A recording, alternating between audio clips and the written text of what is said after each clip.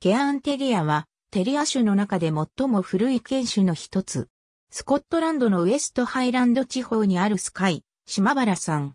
石石の隙間や穴に生息している小動物を捕らえるために刺激され、スコットランドでは最古の刺激犬と言われている。本犬種のスタンダードは、ケアーンテリアクラブアメリカで確認できる。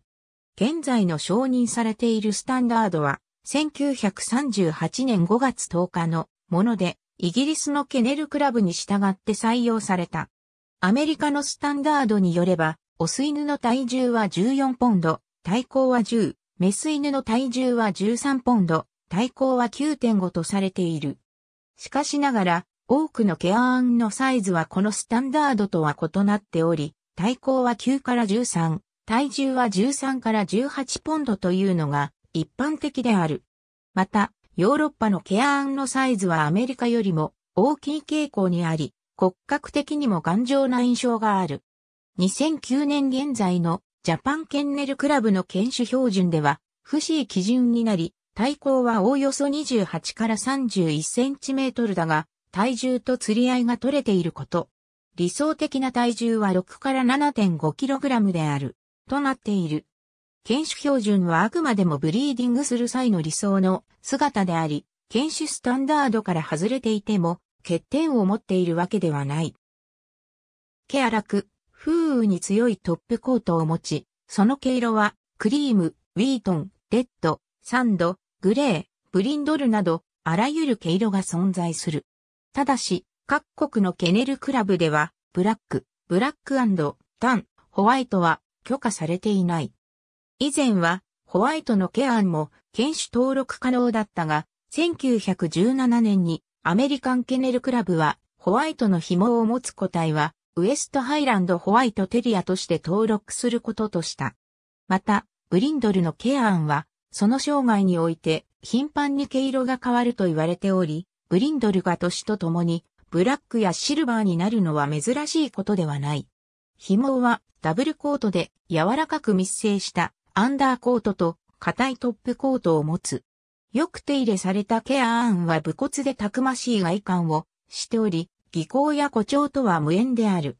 プラッキングという毛を抜く手入れ方法が必要な犬種であり、ハサミでカットすると皮膚が弱くなり、皮膚病になる。ケアーンテリアの皮膚は他犬種と比べ弱いため、生後2ヶ月頃から柔らかい毛を抜くことによって、皮膚を丈夫にする知的、活発、力強く、明るく、忠実である。他のテリア種同様に頑固で強い意志を持ち、獲物を追って地面を掘り返すことを好む。強い狩猟本能があり、広範囲の訓練が必要であるが、高い知能を持っており、訓練性能も豊富に持っている。頑固さゆえ反抗的と思い違いされる場合もあるが、飼い主への服従を拒み歯向かう、牽制症候群とは異なる。子供の良き遊び相手になるが、子供を嫌う気難し屋もいる。もともと刺激犬で、今でもスコットランドの一部で狩猟に使われている。多くのケアーンテリアは独立信号性で活発である。家庭犬としては以上の性質を踏まえていれば問題はない。ケアーンテリアをオズの魔法使いに登場するトトのようなイメージで捉える向きもあるが、作られたイメージと実際は別であることは言うまでもない。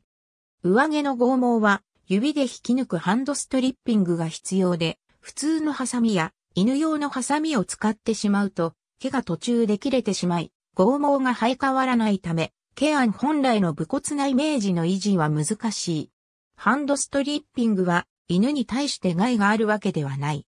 指毛を毛根から引き抜き、次の毛が生えてくるのを手助けするために行うが、毛流れの方向に抜くなど方法を学ぶことによって、犬に痛みを与えないよう抜くことができる。この方法で、指毛を取り除くことによって、新しい紐が生え、水や汚れから犬を守る。ナイフで抜く場合もあるが、その場合は、ハサミと同様に毛を切らないよう、刃先をなまらせておくなどの工夫が必要である。ストリッピングを行う目安は、上毛が指4本の長さを超えたぐらいとイギリスのブリーダーは言う。子犬毛は生後8から9ヶ月までで一旦すべて抜く。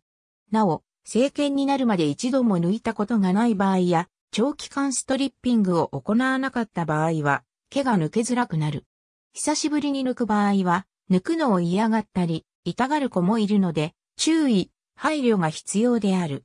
柔らかい下毛については、春先から替え毛が始まる。日本犬のように一気には抜けないため、ブラッシングやコーミングにより地道に取り除く。指で簡単に抜けるため、夏場を控え、全部抜いてしまう人もいるが、地肌が透けるので、見た目を気にするかどうかで判断は分かれる。一般的に丈夫であり、その寿命はおよそ15年である。しかしながら、ブリーダー、飼育者、獣医師は、ケアンの重要な健康上の問題点を認識している。遺伝的なものもあり、特定不可能な原因によるものもある。現在、ケアンテリアクラブアメリカは、 Institute for Genetic Disease Control in Animals とともに、本犬種の遺伝性疾患の発生を抑制するという目的のために誰もが利用できる登録フォームを整備している。